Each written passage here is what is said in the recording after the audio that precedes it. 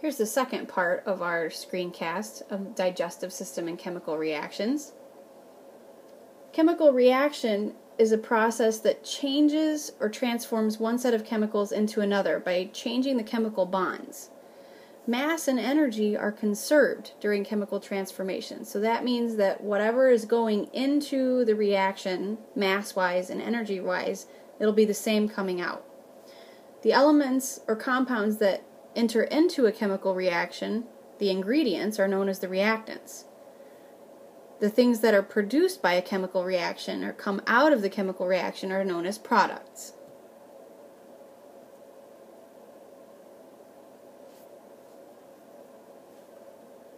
An important chemical reaction in your body is when carbon dioxide is removed.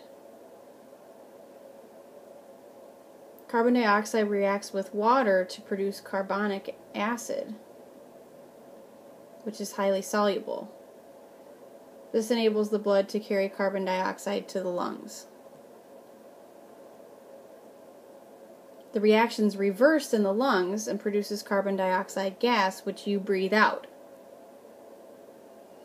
Energy is released or absorbed whenever chemical bonds are formed or broken during chemical reactions. Energy changes are one of the most important factors in determining whether a chemical reaction will occur. Chemical reactions that release energy will happen spontaneously or on their own. Chemical reactions that absorb energy won't occur without a source of energy. So some energy has to go in first. Every living thing has to have a source of energy to carry out the chemical reactions it needs. Plants get their energy from sunlight. Animals get their energy when they consume plants or other animals. Humans release the energy needed to do what we do through the chemical reactions that occur when we break down digested food or metabolize digested food. Chemical reactions that release energy do not always occur spontaneously. The energy that's needed to get those reactions going is called activation energy. What you see here is two different kind of graphs needed, showing the energy needed for the reaction to go forward. So the activation energy is the difference between the required energy and the energy of the reactants. So here's the activation energy in an energy absorbing reaction. So the products actually have more energy than the reactants. Here's the activation energy in an energy releasing reaction where the reactants have more energy than the products.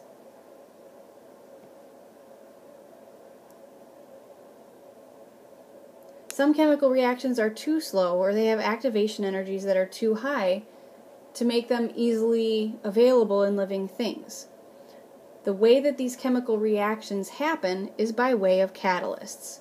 It's a substance that speeds up the rate of chemical reaction, and the way they do that is they lower the reaction's activation energy. Enzymes are proteins that act as catalysts in living things, biological catalysts. They speed up chemical reactions that take place in cells. And they do this, again, by lowering the activation energies. So what you see here is a difference. We have the reaction pathway with the enzyme. The activation energy is here. The reaction pathway without the enzyme, the activation energy is here. It's much higher.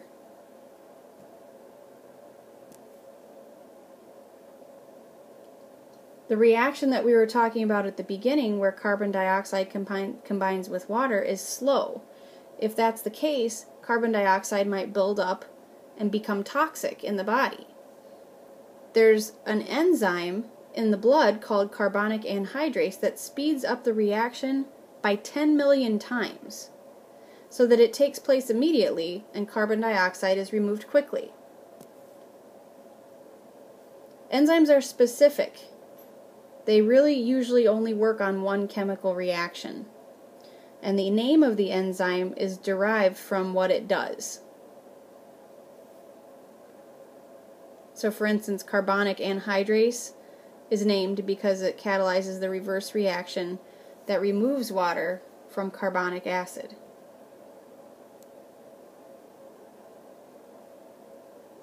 So, for a chemical reaction to happen, the reactants have to have enough energy to break bonds and make new bonds. If the reactants don't have enough energy, they will not change. Enzymes provide a site where the reactants can be brought together to react. The reactants of enzyme catalyzed reactions are known as substrates. So substrates are what are getting changed. They're what are getting worked on. The enzyme carbonic anhydrase converts carbon dioxide and water into carbonic acid. The substrates bind to the enzyme in a place called the active site. They don't have the same shape, they have complementary shapes. So they fit together like a lock and a key. They're that specific. Or like two puzzle pieces.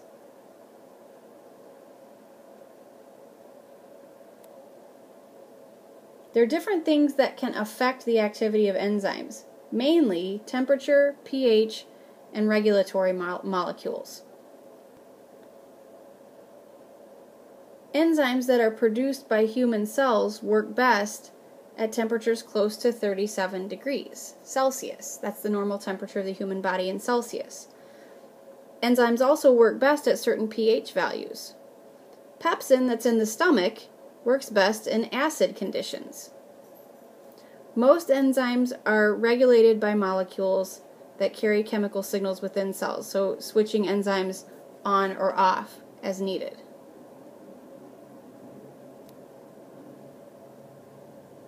So when we're talking about pH, there's the pH scale that ranges from 0 to 14. At a pH of 7, the concentration of hydrogen and hydroxide ions is equal. Pure water is right there at a pH of 7. Solutions with a pH below 7 are called acidic because they have more hydrogen than hydroxide ions. The lower pH, the greater the acid. pH above 7 are called basic because they have more OH or hydroxide ions than hydrogen ions. The higher the pH, the more basic the solution. And then down here you see some examples of common household products that are acid and base. Each step on the pH scale is a factor of 10. So a liter of a solution with a pH of 4 has 10 times as many hydrogen ions as a liter of solution with a pH of 5. So it's way increasing strength, even if you're just going up by one number. As we said before, an acid is any compound that forms hydrogen ions in solution. Hydrochloric acid is an example, a strong acid that's produced by the stomach to help digest food. Bases produce hydroxide or OH ions in solution. Lye, it's called sodium hydroxide or NaOH, that's used in soap making, is a strong base. These are pH values that are above 7.